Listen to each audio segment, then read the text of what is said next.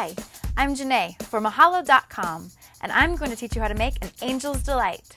Now, this shooter involves a little bit of cream, a little bit of sweetness, and a little bit of gin.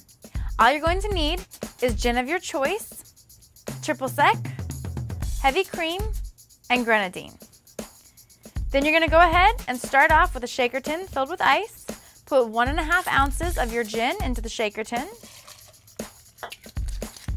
a half ounce of your triple sec to give it the citrus orange flavor, a half ounce of your cream, and just a tiny splash of grenadine to give it the cherry flavor. Right, once everything is mixed into the shaker tin, you're gonna shake it up, get it nice and chilled.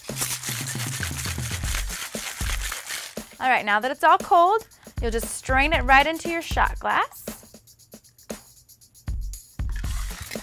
And you have an angel's delight. Thanks for watching.